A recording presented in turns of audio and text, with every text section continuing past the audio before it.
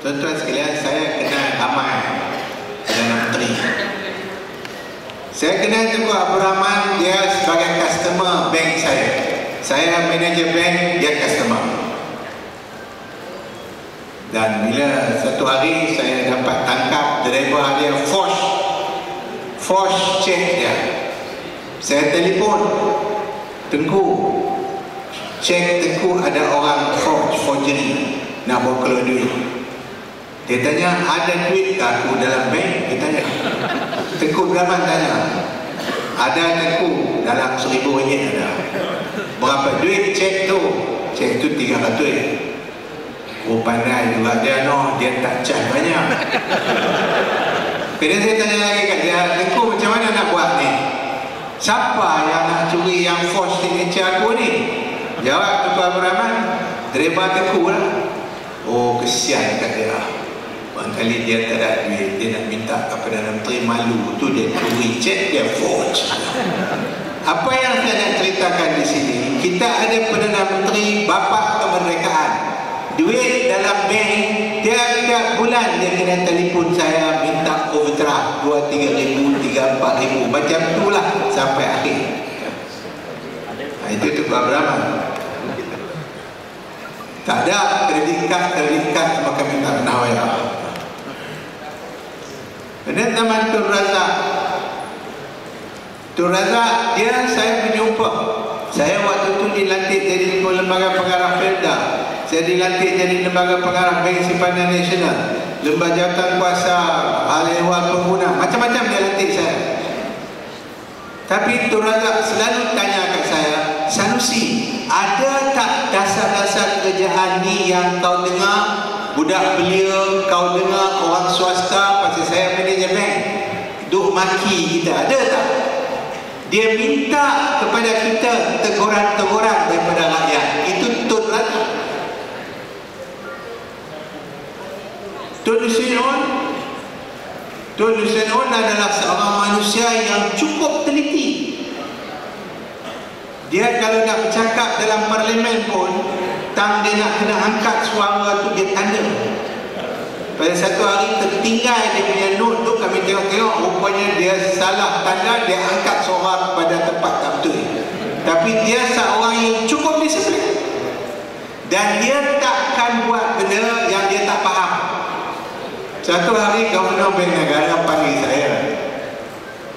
Dia kata Sanusi Bank Negara Terusin waktu itu jadi Menteri Keuangan saya manajer bank Sanusi Governor Tun Ismail Ali bagi tahu saya ni nak bagi faham kepada Tun Husin kenapa dia kena izin bank negara bagi pinjaman duit kerana sekarang duit dalam negara tak cukup cash untuk beredar. Stagflation. Makan masa 2 jam saya jelaskan kat Tun Husin Tun Hussein dia takkan sign kalau dia tak faham. Hari ini kita dengar ada yang kata saya tak baca bila saya sign. Bila saya sign saya tak baca. Bila saya lulus saya tak baca. Orang tegur sikit. Sedangkan bapa dia dulu tanya apa teguran orang. Kerana banyak menteri takut nak tegur Perdana Menteri zaman Tun Mahathir Mohamad yang sekarang dia duk maki dia mengenai projek-projek. Yang duk maki dia tu dulu ada dalam kabinet tak pernah keluar suara pun. Ini faham pun tidak apa yang Tun Mahathir duk cakap. Contoh Tun Mahathir kata dasar pandang ketipu dan dasar 2020 2020 Tuan Mahathir bagi dia umumkan saya nak perkenalkan dasar 2020. Saya waktu itu jadi chairman jatah kuasa Hari Merdeka nak kena draw logo untuk Hari Merdeka. Itu Tuan Mahathir tahan saya tanya, Sanusi, hang tahu tak apa dia dasar 2020? Saya kata tahu. Apa dia? Cermin mata.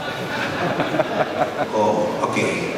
Jadi kau pastikan 2020 tu jangan letak rapat-rapat. Nanti orang baca 2020. Saya pun draw, minta draw 2011, 2011. Tanda 2020 bila orang baca. Apa maksud dia?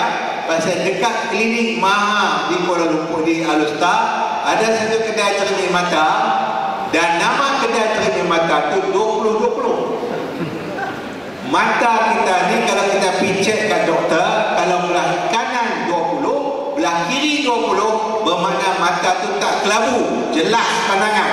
Dasar 20-20 itu dasar yang berasaskan kepada pandangan dan kajian yang jelas. Tiba-tiba besok keluar dalam suatu khabar. Seorang menteri jawab.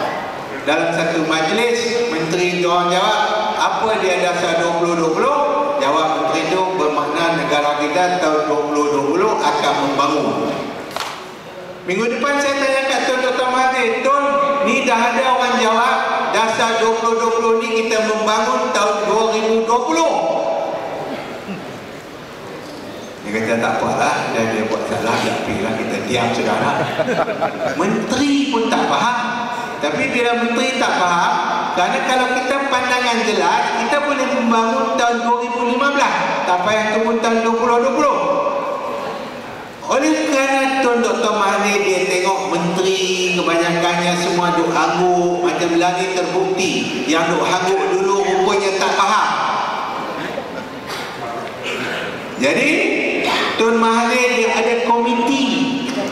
Salah seorang daripada komiti dia tu ialah Matius Chang yang cakap mata lari. Komiti tu kerja dia cari salah kerjaan. Tuan-tuan pernah dengar kita ada komiti untuk cari salah kerjaan. Tan Sri Mahyudin tak payah buat komiti. Dia tanya benda yang dia tahu Najib buat atas nama kerjaan. Memanglah ada kuasa sebagai Perdana Menteri. Memanglah ada kuasa sebagai Menteri. Sebagai Perdana Menteri dan Menteri Keuangan. Tapi kuasa tu kalau kita nak jamin pinjaman sampai 42 bilion kita kena bagi tahu kepada kabinet. Kita kena bagi tahu kepada majlis tinggi kalau kita nak buat perniagaan melibatkan semua negara Amerika Syarikat Virgin Island Britain, Switzerland Hong Kong, Singapore kita bawa semua bank kita putar duit kita sampai kelang kabut sistem bank di dunia. Lepas itu bila bank campur, bila kita campur, oh penuhnya kita kerjasama dengan pihak asing. Bukan kita yang kerjasama dengan pihak asing. Dia yang bawa masalah kita ni daripada negara-negara asing.